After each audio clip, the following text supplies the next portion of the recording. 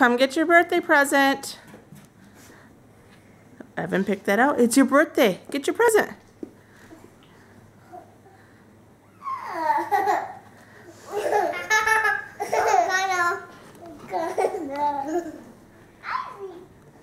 Don't bother him now. You guys go sit in your chair for us now. Go sit in your chair and watch him play.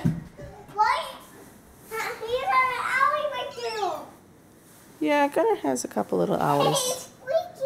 I know. Do you think he likes it? I think he's biting it. Yep.